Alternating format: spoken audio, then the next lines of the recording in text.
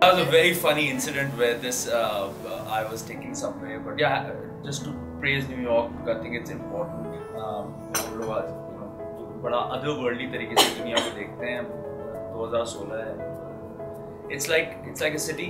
कभी कराची की तस्वीरें देखते हैं पुरानी तो it seems like a different city. When you go there, another a city anywhere, I mean, politics happen. When you go there, the city's been there for a long time. Just the magnitude of it, the scale of it.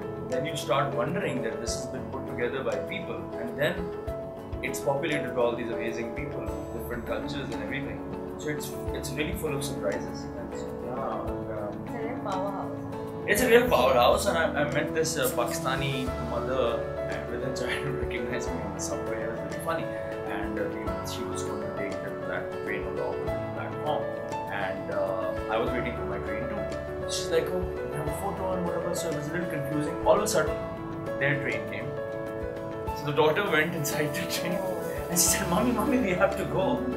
And and all of a sudden uh, by the time by the time she kind of got into her train मेरी train भी आ गई तो मैंने एकदम से I have to go up going to the shoot I got into the train the daughter got out to take her mother in. The mother went back into the train started waving at me. The daughter got left behind on the platform. Oh my god, that's a real filmy moment.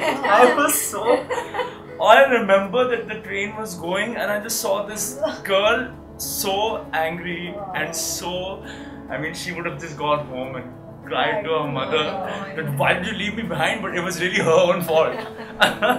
And I just uh, I, I was really amazed you know uh, just to, and to run into Pakistanis there खुल के वहाँ आपकी तारीफें होती हैं तो बुराइयाँ भी होती हैं और अच्छा लगता है आपको ना? सुन go out you always end up wishing of course things